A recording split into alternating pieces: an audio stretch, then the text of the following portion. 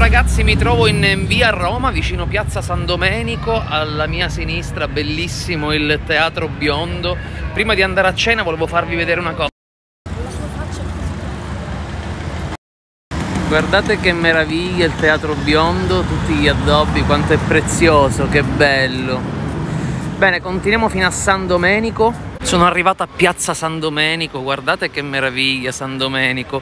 Pensate, sorge nello stesso punto dove sorgeva una chiesa quattrocentesca e prima ancora trecentesca.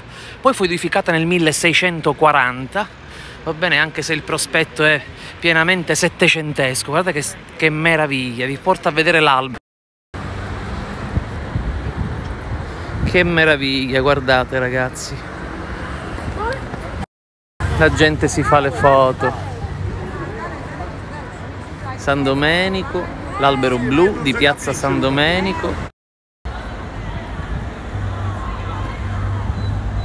Questa è la chiesa, la seconda chiesa più importante della città e qui dentro ci sono le tombe di uomini importanti del passato, fra cui Francesco Crispi e, e il giudice Giovanni Falcone.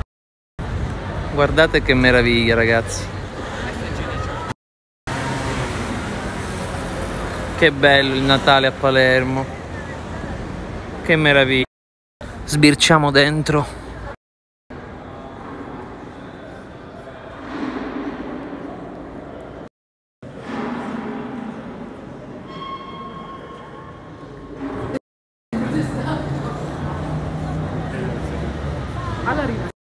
Qui dietro c'è un ristorantino niente male, proprio dietro San Domenico. Questo è il dietro di San Domenico in questa bella piazzetta. Vi faccio vedere un altro albero. Proprio qui c'è un localino niente male che si chiama Ferramenta.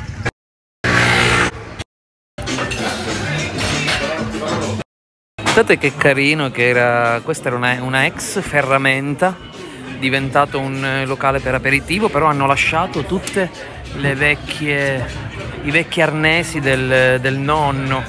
Guardate che... Guardate in questa foto. Era così fuori. Nella sala accanto si può anche cenare. Noi però stasera prendiamo solo l'aperitivo e poi andiamo a cena in un altro posto bellissimo, qui vicino.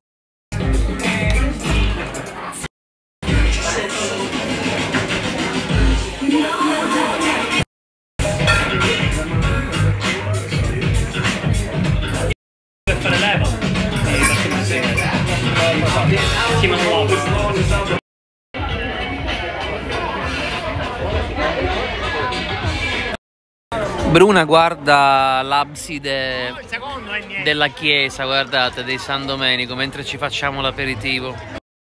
Pochi metri più avanti arriviamo finalmente a cena all'osteria Mangia e Beve. Lo stile rimane quello dell'antica trattoria, con un tocco di modernità.